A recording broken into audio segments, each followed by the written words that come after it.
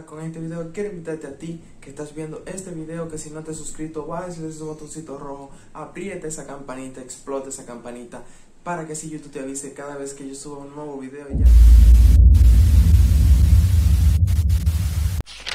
Muy buenas amigos y suscriptores de YouTube, bienvenidos a un nuevo video en este su canal Mr. Abdroid Y ya seguro como vieron en el título de este video les voy a estar mostrando cómo pueden estar aumentando lo que es la calidad de sus fotos y videos para subirlas a la plataforma social de Instagram. Sí, así es, pero para nadie es un misterio que Instagram y todas las plataformas sociales reducen mucho lo que es la calidad de tus fotos y videos aunque tú los grabes en 4K, en 5K, en 10K, en todo lo que quieras porque ellos les ahorra mucho espacio pero ya están dando riendas sueltas a lo que es la calidad de nuestras fotos y videos para poderlos estar subiendo en la mayor calidad posible. Para hacer esto lo único que tenemos que hacer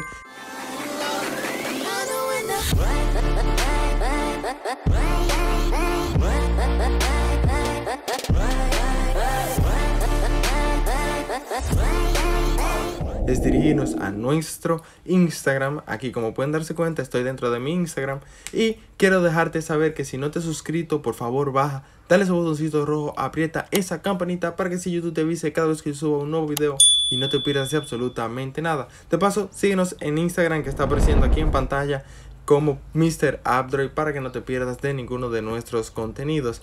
Eh, una vez aquí dentro, ya para continuar, vamos a darle a los tres puntitos y donde dice ajustes y privacidad. Aquí dentro lo que vamos a hacer es darle para acá abajo hasta encontrar nada más y nada menos que data usage y media quality le daremos aquí adentro y simple como esto le daremos a el cotejo que dice subir con la mayor calidad. Esto quiere decir que va a subir con la mayor calidad posible y como te lo explica. Siempre va a subir los videos de la mejor calidad. Y sin embargo aunque este dure mucho así que su internet tiene que ser bueno yo les recomiendo que cuando tengan esto siempre traten de tener el internet lo mejor posible para que suba más rápido. Cuando está apagado automáticamente ajustará nada más y nada menos que la calidad del el video a lo que tu red de wifi tenga en ese momento. O sea que si tu red wifi estaba siendo buena, va a subir en buena calidad. Pero si tu wifi estaba siendo malo, va a subir en mala calidad.